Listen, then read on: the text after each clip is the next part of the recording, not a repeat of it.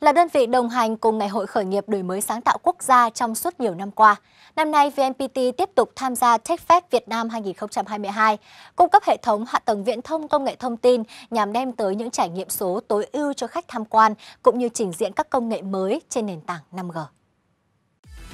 Được biết, tại Ngày hội khởi nghiệp đổi mới sáng tạo quốc gia TechFest Việt Nam năm nay, với chủ đề đổi mới sáng tạo khơi nguồn tư duy mới, Tập đoàn Bưu chính Viễn thông VNPT đã gấp rút thực hiện đầu tư lắp đặt các thiết bị máy móc, đường truyền internet tốc độ cao, bố trí nhân lực, bổ sung các trạm phát sóng 4G và trang bị thêm một trạm phát sóng Vinaphone 5G lưu động ngay tại Trung tâm Triển lãm Quốc tế WTC Bình Dương. Tại đây, khách tham dự có thể dễ dàng trải nghiệm lướt mạng Vinaphone 5G với tốc độ cao vượt trội so với các mạng 4G tiền nhiệm. Hơn thế nữa, trong khuôn khổ thời gian diễn ra triển lãm sẽ có nhiều phần trình diễn các sản phẩm 5G kết hợp từ hãng công nghệ hàng đầu thế giới Qualcomm, bao gồm thiết bị chuyển đổi CPE 5G, laptop ThinkPad 5G, thiết bị không người lái sử dụng mạng 5G cùng hàng loạt công nghệ thông minh khác. Điều này khẳng định sức mạnh của nền tảng 5G cũng như đem lại cho khách tham gia những trải nghiệm số mang xu thế của tương lai.